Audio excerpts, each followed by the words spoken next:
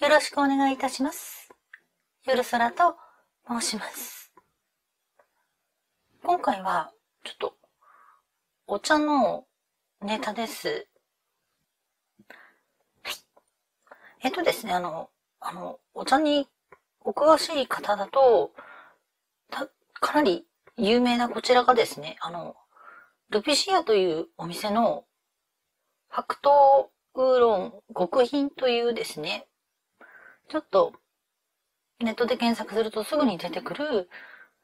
ルピシアの中でも代表的なお茶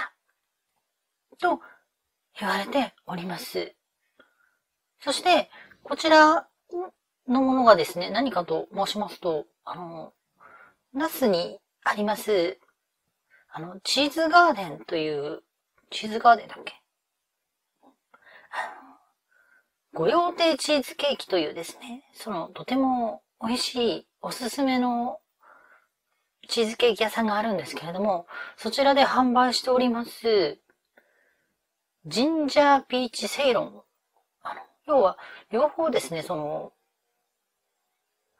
白桃、ピーチの香りのお茶なのです。で、私はこちらのチーズガーデンのお茶が昔から大好きで、後からいろいろ調べたらば、そのルピシアにも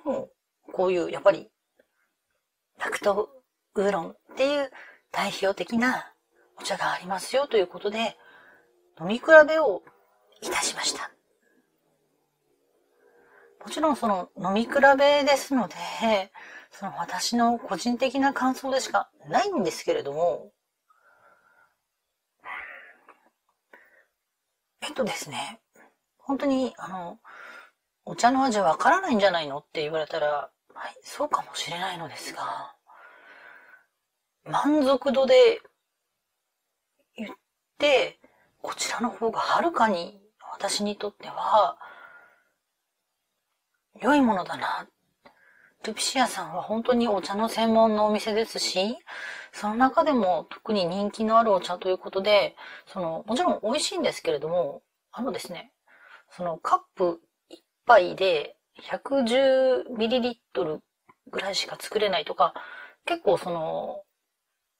あの、楽しめる量が少ないみたいな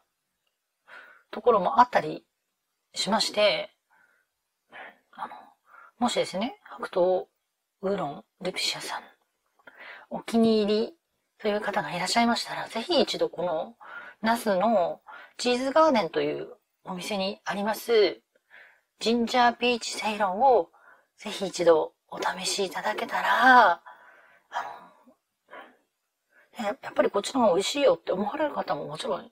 多いと思うんですけれども、あの比較するに値するお茶だと私は思います。おすすめさせていただきます。今回は以上となります。ご視聴いただきましてありがとうございました。またのお越しをお待ち申し上げております。